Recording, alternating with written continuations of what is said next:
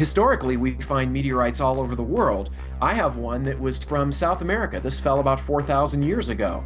And it's uh, iron, it's very heavy, it's the size of my fist, it weighs over a pound.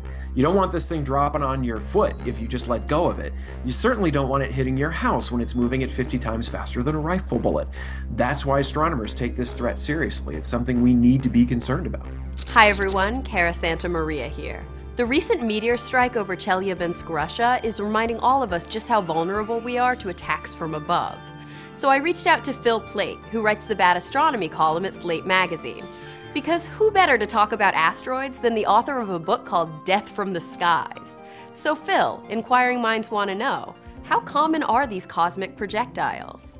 The Earth gets hit by about 100 tons of material every single day, and they're usually about the size of a grain of sand. The bigger something is, the more rare it is. So the Chelyabinsk meteor, this thing that came in over Russia, that was big. That was about 50 feet across. Those are very rare. We estimate they only come in once a century. A hundred tons of material a day? Large impacts once a century? You'd think we'd see evidence of that all over our planet. It is 4.5 billion years old, after all. And in fact, Earth is covered in craters, but we can't see many of them anymore because they've been eroded away by wind and water. The most famous one is probably in Arizona, Meteor Crater. It's about a mile across. The most famous impact would have been the one that wiped out the dinosaurs 65 million years ago. That was an object 10 kilometers, 6 miles across. But you don't have to go back that far. In, in 1908, on June 30th, something 50, 30 yards across, that size, size of a big house or somebody's yard, came screaming in over Siberia and exploded. Hurtling through the solar system, a speck of cosmic dust strikes the Earth. Commonly, these meteors are vaporized by friction in the atmosphere. This is part of the story of one that wasn't. A meteor that landed in 1908 in Siberia near Lake Baikal with the destructive force of an atom bomb. Over half a century later, a 20-mile area around the vast crater is still seared and battered. It was a very large impact. Something like that happening today would be very bad. And if something like that were to happen today, would we be prepared? If we were to spot an asteroid headed towards Earth tonight that is going to hit us in a year, there's not a lot we can do about it. Well, that doesn't sound very promising. But we have a lot of ideas right now, and some of them involve whacking it with a rocket and trying to push it into a safer orbit, or possibly throwing a bomb at it to do the same thing. Putting a space probe near it so that you can use the gravity of the probe to pull on the asteroid, and given enough time, as wacky as that sounds, that will actually work.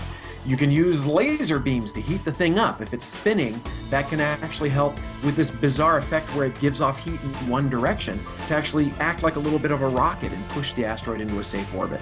There are all these plans, and they're all really cool, and we think a lot of them will work, but none of them is here. Hmm. Well, don't worry too much. We can track large objects years in advance, and we don't have any imminent threats right now. In fact, you can download a widget from NASA's Jet Propulsion Laboratory website that shows all of our upcoming close encounters. But it's the small impacts that we can't track, like the Chelyabinsk meteor. We have no way to see them coming. Our instruments just aren't sensitive enough yet. It came in the day before, just 16 hours before we were passed by a much larger asteroid, about 50 meters across, and they are totally unrelated. This was a complete coincidence. The asteroid that passed us, 2012 DA14, was on a completely different orbit than this thing that came in over Russia. And that right there basically closes the book on any chance they were related. Wait, wait, wait. Asteroid, meteor, I'm confused. What's the difference? What we call something pretty much depends on where it is. So while something is orbiting the sun, it's called an asteroid. As it's entering the Earth's atmosphere, the bit of it that's actually solid, whatever it is, the rock, the metal, we call it a meteoroid.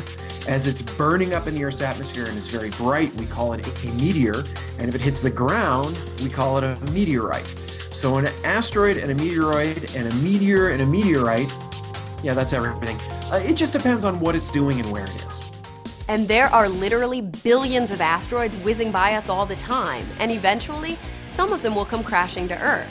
So let me know what you think. Are you concerned about a threat from the skies? Come on, talk nerdy to me.